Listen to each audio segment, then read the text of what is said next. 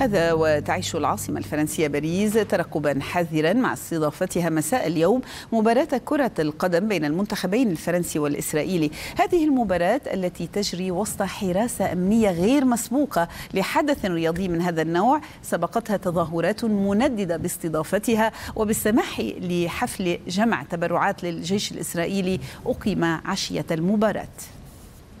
آلاف الفرنسيين يجبون شوارع العاصمة احتجاجا على استضافة باريس لحدثين.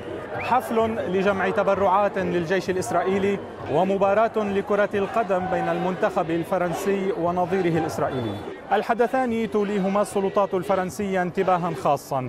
فحفل دعم الجيش الإسرائيلي يجري في مكان سري وتنظمه جماعة إسرائيل إلى الأبد.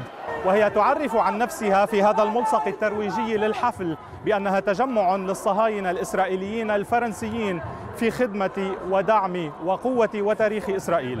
هذا التجمع الذي دعي إليه وزير المال الإسرائيلي المتطرف بيتسلئيل سموتريتش استنفر عشرات الجمعيات الحقوقية الفرنسية التي اجتمعت لرفع دعوى ضده ما دفعه لإلغاء حضوره خوفا من اعتقاله فور وصوله إلى باريس.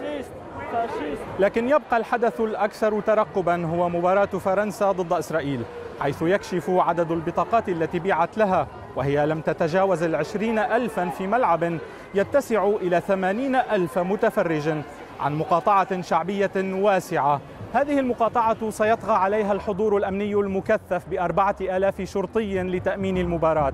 في حين سيحضر الرئيس ماكرون شخصيا في المدرجات كمشجع برفقة الرئيسين السابقين نيكولا ساركوزي وفرانسوا أولاند أما هؤلاء فسيتظاهرون خارج الملعب للتنديد بما يقولون أنه تصفيق رئيس الجمهورية للاعبي منتخب يمثل حكومة ترتكب المجازر في غزة وفي لبنان.